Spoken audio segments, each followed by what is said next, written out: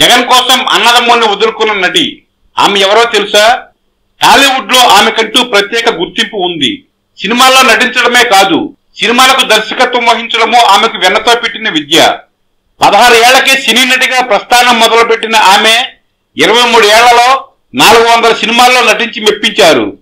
తాను పెరిగిన వాతావరణాన్ని పరిగణనలోకి తీసుకుని ఒక గిరిజన యువతి సమస్యల్ని ప్రపంచానికి చాటి చెప్తూ తీసిన ఓమల్లి అనే చిత్రం అనేక అవార్డులు సొంతం చేసుకుంది.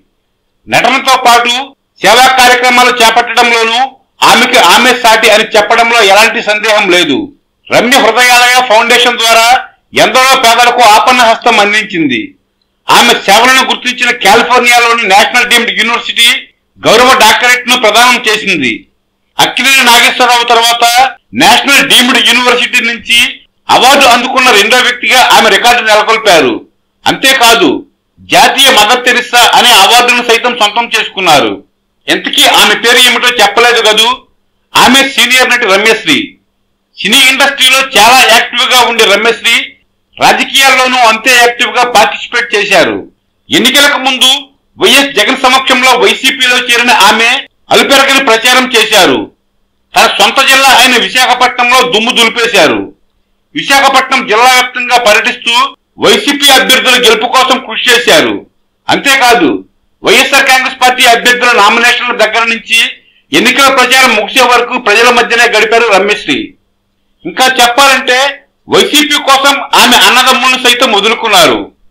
రమ్యశ్రీ అన్న మాజీ ఎమ్మెల్యే గవిరెడ్డి రామనాయుడు తెలుగుదేశం పార్టీ అభ్యర్థిగా విశాఖపట్నం జిల్లా మాడుగుల నియోజకవర్గం నుంచి పోటీ చేశారు.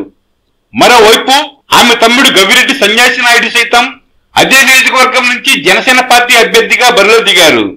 కానీ రమ్యశ్రీ వారిని పట్టించుకోలేదు. అన్న గెలుపు కోసం కానీ తమ్ముడి విజయం కోసం కానీ ఎలాంటి ప్రచారం చేయలేదు. తాను వైసీపీలో చేరానని ఆ పార్టీ కోసం పనిచేస్తానని సోదరుల ముఖం మీదే కొండబద్దలు కొట్టారు. వాస్తవానికి రమ్యశ్రీకి విశాఖపట్నం జిల్లా కొట్టిన పిండిగా చెప్పుకోవాలి. రమ్య హృదయాలయ ఫౌండేషన్ ద్వారా అనేక కార్యక్రమాలు చేస్తూ అందరికీ చేరువయ్యారు. అంతేకాకుండా బీసీ సామాజిక వర్గం కోసం అలుపెరకని పోరాటం చేశారు. ఫలితంగా ఆమె విశాఖపట్నం జిల్లాతో పాటు తెలుగు రాష్ట్రాల్లో తనకంటూ గుర్తింపు తెచ్చుకున్నారు.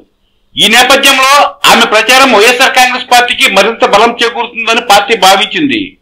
అన్నను తమ్ముళ్ళు సైతం పక్కన పెట్టి నమ్మిన సిద్ధాంతం కోసం సినీనటి రమ్యశ్రీ అహర్నిశలు శ్రమించారు. మండుటిండల్ని సైతం లెక్క చేయకుండా ఎన్నికల ప్రచారంలో ముమ్మరంగా పాల్గొన్నారు. వైసీపీ అధికారంలోకి రావడం ఖాయమని ఆమె ధీమాగా ఉన్నారు. ఈ నేపథ్యంలో వైసీపీ కోసం అన్నదమ్ములను సైతం పక్కన పెట్టిన రమేశ్రీకి పార్టీ ఎలాంటి గుర్తింపు ఇస్తుందోనన్న ఆసక్తికర చర్చ సాగుతోంది. పార్టీలో ఆమె భవిష్యత్తు ఎలా ఉంటుందో తెలియాలంటే మే ఇరవై మూడు వరకు వేచి చూడాల్సిందే.